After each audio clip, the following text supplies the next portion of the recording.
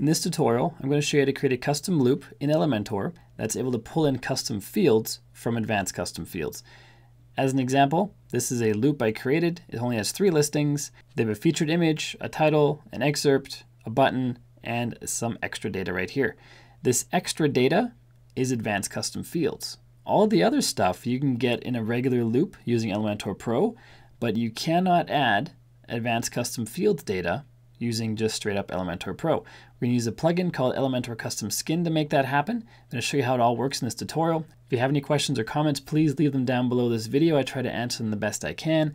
My name is Bjorn Allpas from WP Learning Lab, where we help you get better at WordPress so you can earn more for yourself, for your customers, and for your business. If you haven't done so yet, make sure to click subscribe and ring the bell so you don't miss any future videos. And now let's get into this video right now. To set up this tutorial, I created three posts. They are really basic. These are the three right here and they are a title, some lorem ipsum text, a featured image, and an excerpt, which is just taken from the from the lorem ipsum text over here. And this is going to be loosely a real estate website.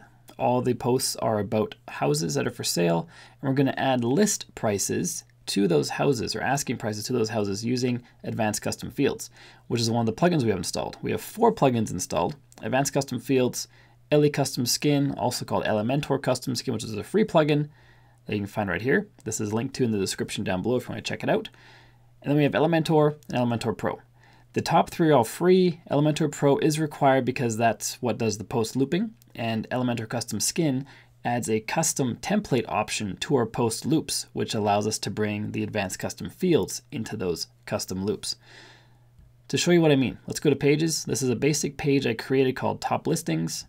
This is where we're going to add our custom loop. And if we use just the Elementor posts, just drag and drop that in, we have a very familiar looking post. So we can then edit and change. We can choose the classic skin. We can choose cards. And we have a lot of customization options for these. What we cannot do is add advanced custom fields content to these cards or to this classic layout. That's where the custom option comes in. This custom option is added by Elementor Custom Skins. Before we add this to the page, let's actually see how to create them. So let's back out of here and go back to the dashboard.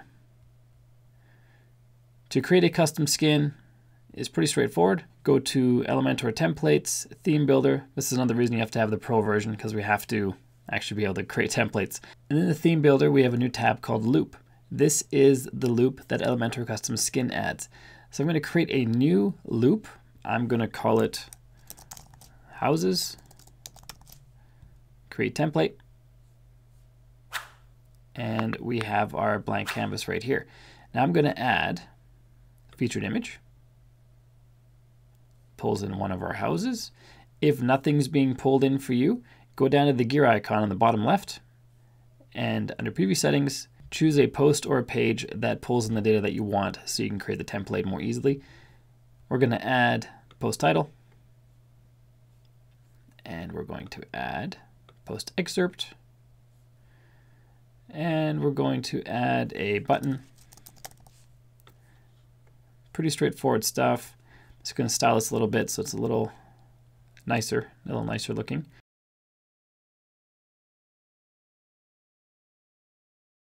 There we go. I'm going to change the text for the button to say view the full listing here.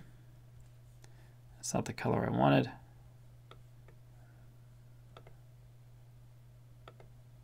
There. Now we have our basic item that's going to go into the loop. This is a lot bigger than the ones we saw a moment ago. What we're creating is the individual item and its layout and its features and its appearance. And we will then loop through that in what's called the loop and it will show as many items as we want on the page that we put it on, and we can adjust those settings using the Elementor Builder. So let's further customize this a little bit. I'm going to add a border width of one and make it really light gray. And I'm going to make sure the background of this is white, just in case we decide to change the color of the main background later. That's not all see-through. So there, we have our listing and it's all done. That's great. We're not going to add the ACF custom field right this second. First, I want to create this loop and put it on the page and see how it looks, and then we'll come back and add the custom fields. Let's publish this. For conditions, you don't need to choose any in this case. Let's just click on save and close and then exit out of here. And let's go back to our pages, our top listings page. This is where we want our listings to appear. Let's just uh, close this section or get rid of it. So we add the posts widget, which is an Elementor Pro widget. Add that there. We get our classic layout like we've seen before many, many times if you built any websites. It's going to add some padding at the top, bring it down a little bit. And this is where we can change our loop. This is looping through all of the posts that we have on the page or on, on our website. We can set the number of columns, we can set the number of posts, we can add pagination, and it'll loop through all of your posts. That's why it's called the loop. It just keeps on looping through. So we choose from here, custom. Under template, we choose houses. This pulls in or loops in all the houses using the custom template we just created. And that's all there is to it. Super simple. But this is not too different from, let's say, the cards, which you can customize all you want inside of Elementor. So the real power is not that you can make it look the same. The real power is that you can add things like advanced custom fields. So let's update this and exit out of here.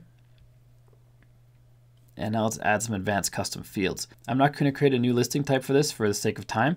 You could use custom post types to create the listings custom field on the left hand side here and then create all your listings inside the listing field. That's what you should do if you're building out a big website. In this tutorial, I just want to show you how to add custom fields to your loop. In a future tutorial, I'm going to build a complete real estate website and we'll use custom post types for that. In this case, we're not going to. Let's go to custom fields. Let's click on add new and let's call the group listing info and let's add a field. Let's call this list price or asking price. Make this a number. You can enter instructions here if you want. Um, I will. Enter the asking price. Is it required, yes or no? I'm going to choose no because maybe some people don't want to have the listing price on there. Maybe they want you to call them to find out. That's usually how you do it for really expensive houses. And let's add another field. Let's call this square footage. Because even though I'm in Canada and we use the metric system, we do a lot with square feet. Don't ask me why. This is how it is. So square footage, enter the square footage of the house. This one I will make required.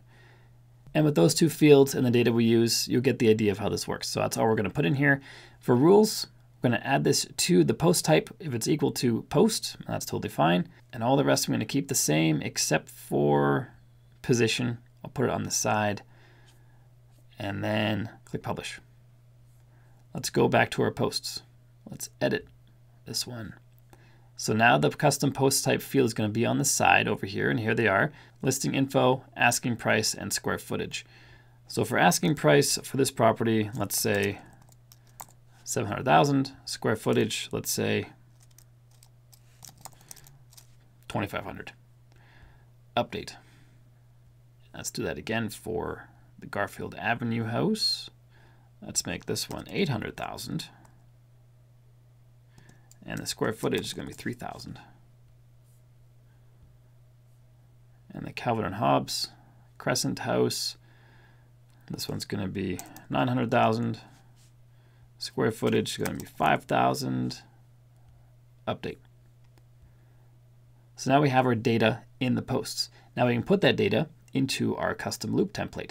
Let's go back to our templates, theme builder, houses loop, edit with Elementor, and I'm going to put this information right below the title. So let's pick a text editor, drag that in. Let's choose dynamic. Let's scroll down to ACF field. Let's pull in asking price. There's the asking price. Let's put something before that. Let's call it asking price. And then a dollar sign. There we go. And I'm going to just duplicate this. Let's change this from asking price to square footage. And before, we're going to put uh, square feet. There we go. That's all done. Now this is going to be in our loop. Let's click on Update, Save and Close, exit to Dashboard, go to, where are we going? Pages. And Elementor. And we now see, hopefully, yeah, there they are. We have our asking prices in our square feet right in our loop. And right here is the future home of the real estate website tutorial that I'm going to build using advanced custom fields. If that's not ready yet, this is going to be a custom login form tutorial. So check out one of those two, whatever one happens to appear here. My name is Bjorn Allpas in the WP Learning Lab. And if you haven't done so yet, make sure to subscribe and ring the bell so you don't miss any future videos. My name is Bjorn Allpas in WP Learning Lab. Until next time, keep crushing it and I will see you in the next video.